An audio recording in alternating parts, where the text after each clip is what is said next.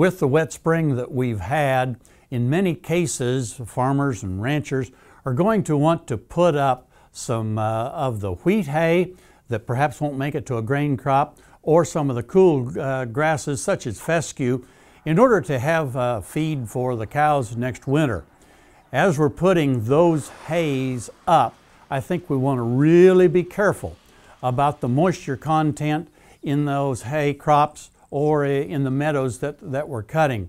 Once we get the, it dry enough in those fields and in the meadows to where we can get equipment in there, I think we also want to consider the moisture content of the hay before we put it in a bale.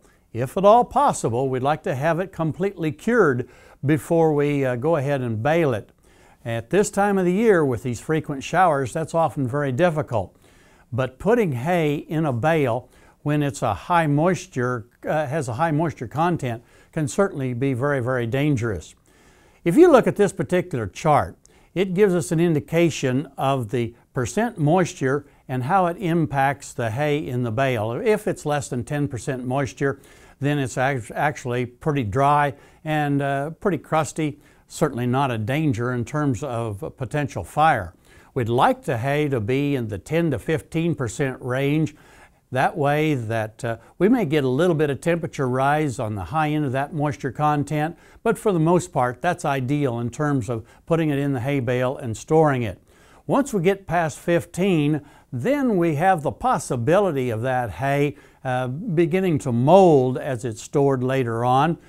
Uh, but if it stays less than 20%, that's about all that we can expect to happen.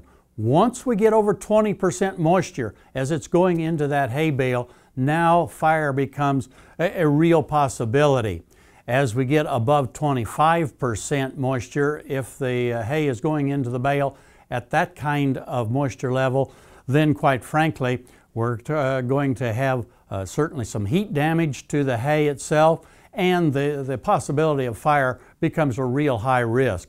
What happens is as this uh, high moisture hay is being put into a bale, two uh, different reactions take place. First of all, just a biochemical reaction of the hay itself uh, with the moisture that's pretty normal and is going to occur in hay that's uh, say 15% or less and it may warm the hay to as high as 110 degrees but if it gets no hotter than that it's no problem.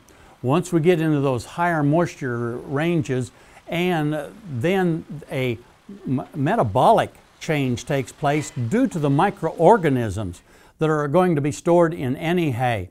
And with the higher moisture contents and these microorganisms get very, very active, that metabolic activity takes over and the temperature increase becomes rather sharp rather quickly. If it gets above 150 degrees inside that bale, then other um, metabolic activity, other biochemical changes take place and that temperature change can go from 150 to 400 in a very short period of time. Of course, at that stage, it's burning the hay, probably going to burst into flames and, and cause a real disaster on our, not only our, our hay, but anything that might be close around it.